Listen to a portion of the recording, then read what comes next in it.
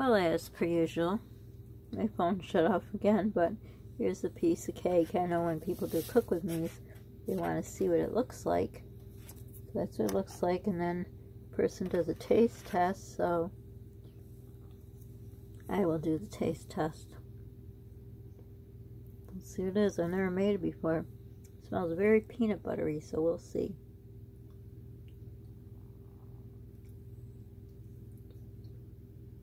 Hmm. Delicious. Very, very good. Oh my gosh. Couldn't eat a lot of this, but it's good. And, um, tastes just the same as the one I was talking about I used to make years ago, where there was so much work involved. But you know what you also can do? You could, um, to make your own crust. Like if you like pecans, see if I could eat, I would make it out of pecans. You just chop them up and then put butter and then um, you get it to a consistency where you can press it into the pan or you can make it out of walnuts, peanuts, anything you want. You can make it out. I do it out of pecans. I love pecans. But there it is.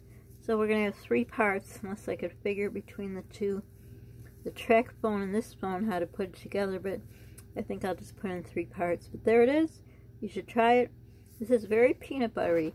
So if you don't like very peanut buttery, I'd put a little less peanut butter maybe. I think I put a whole cup. I put three quarters of a cup. And I put a little more Kool-Aid. But, I mean, I don't mind it like this. And you don't have to put the chocolate on top. So that's it. Turned out. Did it the first time with you guys. And I hope you'll try it. If you do, let me know. And here it is all wrapped up.